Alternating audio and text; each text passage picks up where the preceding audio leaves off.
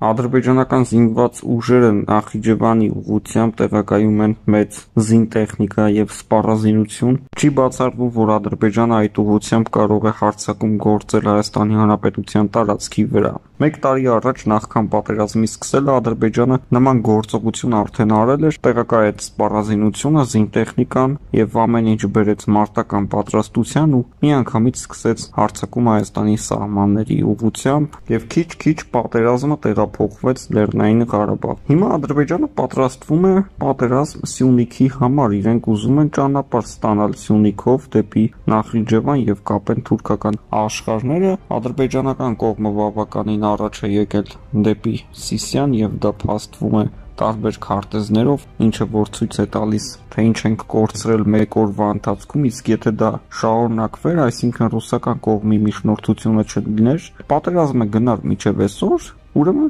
Սյունիք չէր լինի։ Պաշտպանության նախարարներ փոխվեց, բավականին լուրջ փոփոխություններ իրականացվեցին բանակում, բայց ոչինչ չփոխվեց մարտունակության մեջ։ Հայաստանի բանակը չի կարող դառնալ Հայաստանի ֆուտբոլի հավաքական։ Պետքա բանակի վրա մեծ փողեր ծախսվեն եւ նախ պետքա նաեւ լուրջ ընդունել Ադրբեջանի կողմից նման մարտահրավերները, քանի որ պատերազմի նախօրեին երբ բոլորը ասում էին, որ Ադրբեջանը զորապարժություններ արեց Թուրքիայի հետ Նախիջևանում շատ մեծ ծավալների եւ հետո Ադրբեջանը տեղակայեց սահմանների երկայնքով մեծ ուժեր ու իշխանությունը կարծես թե ժողովրդին ցույց էր տալիս, որ ոչ մի բան էլ չի լինելու. Ադրբեջանը չունի այդ համարձակությունը, որ հարձակվի մեր սահմանների ուղությամբ։ Ստացվեց, որ Ադրբեջանը ոչ միայն ունի այդ համարձակությունը, դեռ մի բան էլ դրան պրոֆեսիոնալ պատրաստվել է ու բոլոր մարտական գործողություններին իրենք նախորոք թուրք գեներալների հետ մշակված պլանով առաջ են եկել։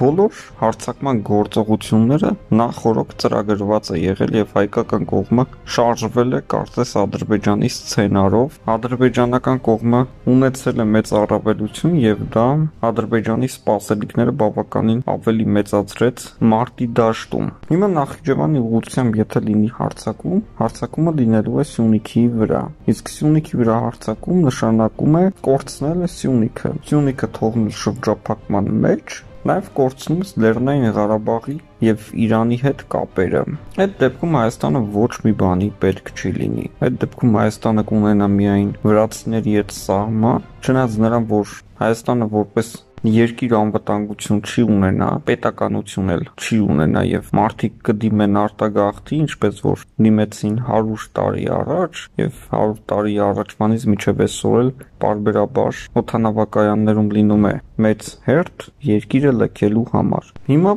պետքա մտածել ինչ որ բան, որը կկանխի ադրբեջանական ագրեսիան։ Եթե գտնում է իշխանությունը, որ բանակը չունի այդքան հնարավորություն կանխել Ադրբեջանի հարձակումները եւ բանակի մեծ մասը զոհվելու է, մի մասն էլ գերի ընկնի, սա բավականին լուրջ խնդիր է եւ Հայաստանը պետքա ուրեմն գնա բանակցություններով։ Բանակցությունները միշտ իրենցից ներկայացնում են ինչ որ զիջումներ թշնամուն։ Հիմա եթե գրված է բանակցություն, ուրեմն նաեւ կարելի է տողատակում կարդալ զիջումներ Փաշինյան-Ալիև հանդիպումը պետք է լինի դեկտեմբեր ամսին Եվրոպայում եւ հանդիպումը կազմակերպում է Եվրոպայի խորհրդի նախագահ Շարլ Միշելը։ Նա հանդիպումը կազմակերպում է վերջին օրերին տեղի ունեցած ռազմական գործողությունների ժամանակ երկու երկրների ղեկավարների հետ խոսակցությունից հետո։ Հիմա հանդիպում է, որտեղ չի լինելու ռուսական կողմը եւ տեսնենք թե ինչ տեղի կունենա առանց ռուսների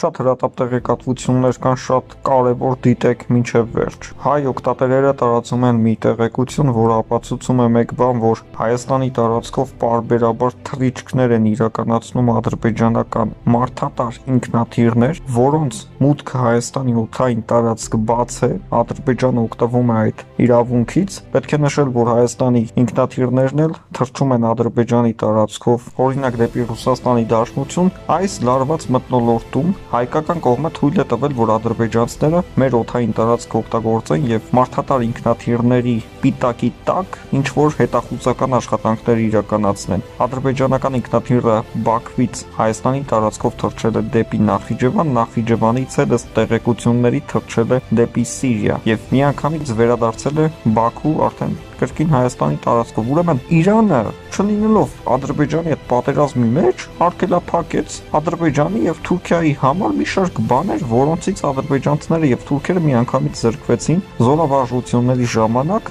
իրենց թույլ տված մի շարք սխալ արտահայտությունների պատճառով։ Ադրբեջանը հարձակվել է Սյունիքի վրա, ուզում է Սյունիքը կտրի երկու մասի բաժանի, Հայաստանի իշխանությունները թույլ են տալիս, որ ադրբեջանական ինքնաթիռները թռչեն հայկական հողի վրայով։ Սա բնականաբար ադրբեջանցիների կողմից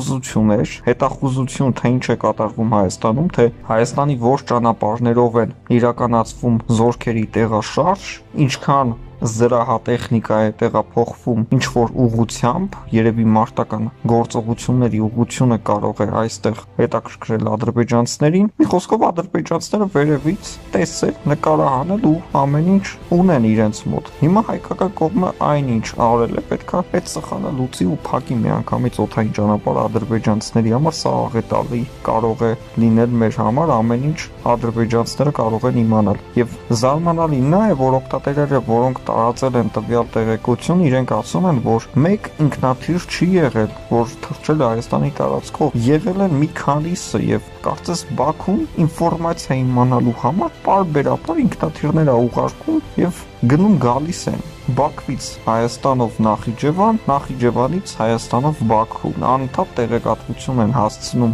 Բաքվի պաշտպանության նախարարությանը, որպիսի ռազմական գործողություններում իրենց անելիքները իմանան։ Տարածված տեղեկությունների համաձայն ադրբեջանցիները ունեն 20-ից 30 զոհ եւ նույնքան վիրավորներ ադրբեջանցի գերիների մասին տեղեկություն չկա եւ միակ հույսը այն կլինի, որ հայերը եւս կկարողանան ադրբեջանցիներին գերի վերցնել եւ հայ գերիների թիվը տարածվող տեղեկությունների գնալով ավելի շատանում է, անգամ կար տեղեկություն այն մասին, որ ադրբեջանցիների կողմից տարածված տեսանյութում մայրը համացանցում այդ տեսանյութը նայելուց տեսնում է իր որդուն եւ ճանաչում նրան եւ բարձ է դառնում տվյալ գերուի ինքնությունը։ Ռուսաստանի Դաշնության պաշտպանության նախարարը հայտարարեց հետեւյալը, որ անելու են ամեն ինչ, որպիսի բոլոր գերիները միանգամից ազատ արձակվեն սա Լեռնային Ղարաբաղի պատերազմը չէր սա, այլ ռազմական գործողությունը եւ ընթացք տալ հնարավոր չէ, պետք է ռազմական գործողությունը կանգնեցվի Փաշինյան վարկյաններ առաջ շեշտեց հետեւյալը, որ դեռևս հարաբերական